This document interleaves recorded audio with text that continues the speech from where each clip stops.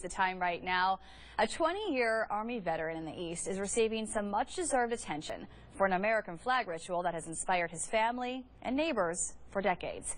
80-year-old William Jerry Haynie of Winterville has terminal cancer. But as Elise Ramey reports, he wants one important message about love of country to live on after he's gone.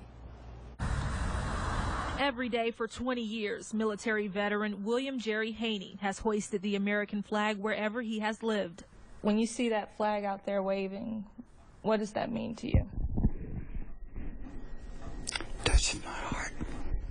His heart would become overjoyed when planning to move closer to one of his daughters a few years ago. He found a house with a flagpole in the yard. He actually had that put into the contract that the flagpole would, would be in, you know, as part of his purchase.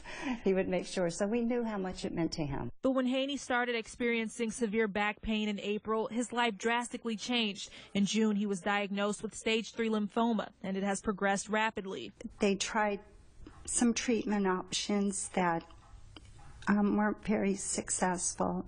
So it's just been a very quick onset of illness. And the ritual that Haynie performed every day with a salute and every night with pride just got to be too much for him physically. And at that point in time, when the flag had been down probably a week or two, um, our neighbor Steve, or my parents' neighbor Steve,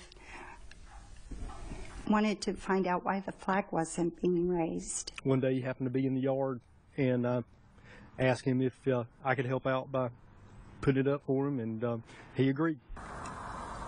Steve Starling says Haynie has taught him and his two boys so much about patriotism. What's emerged now is a relationship and admiration for a man who served 24 years in the Army as a warrant officer. You know, Jerry Jerry was the hero next door, and we didn't know it. Jerry's a veteran of two wars and was shot down over Vietnam in a helicopter. Haynie has been honored for his service and patriotism by U.S. Senator Thom Tillis. He also continues to be cherished by his large family and wife of 60 years. The Lord has just been so wonderful to Jerry and I through all of this.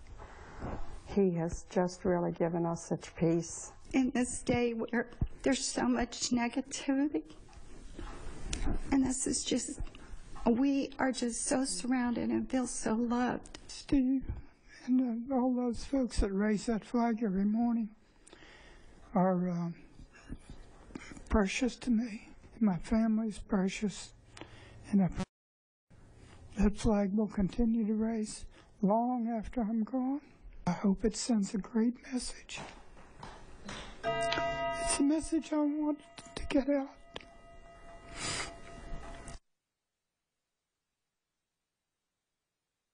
That was Elise Ramey reporting. The Haynie's two daughters will be moving their parents to a progressive senior living facility this week where hospice care will continue for their dad. And as for the flag ritual, neighbor Steve Starling says he hopes to continue the tradition in some way and may even get a flagpole of his own. Just a gorgeous story, Jim. Beautiful for so many reasons. Hard not to cry during that one. Very touching. Yeah, uh, my favorite part of it is the way he has touched his neighbor's children. Uh, all you got to do is talk to a veteran for 10, 15 minutes. I think a lot of people don't realize just how much they do and how much they've done until you sit down and talk with them. Uh, great stuff. Outside right now.